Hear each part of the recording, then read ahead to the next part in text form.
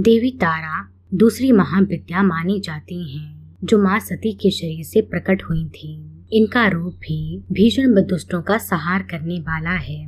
इसीलिए इन्हें माँ काली के समान ही माना गया है।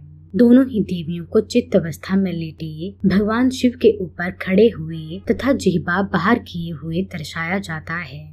हालाँकि देवी काली को श्याम वर्ण तथा देवी तारा को नील वर्ण स्वरूप में वर्णित किया जाता है। माँ तारा का शरीर नील वर्ण का होने के कारण उन्हें नील सरस्वती भी कहा जाता है।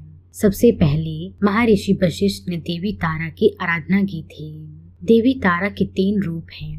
पहला तारा, दूसरा एक जटा और तीसरा नील सरस्वती। माता रानी के इस रूप ने भगवान शिव को स्तनपान करवाया था। इसीलिए इन्हें शिव की माँ की उपाधि भी प्राप्त है। कालांतर में समुद्र मंथन के समय हलाहल विष प्रकट हुआ, जिसके प्रभाव से सृष्टि की रक्षा करने हेतु भगवान शिव ने उस विष का पान कर लिया। किंतु भगवान शिव उस विष के शक्तिशाली प्रभाव से मूर्छित होने लगे। उसी समय देवी दुर्गा देवी तारा के रूप में प्रकट हुई, तथा विष को प्रभावहीन करने हेतु भगवान शिव को अपनी गोद में लेकर स्तनपान कराया, जिससे भगवान शिव पर विष का प्रभाव कम हुआ।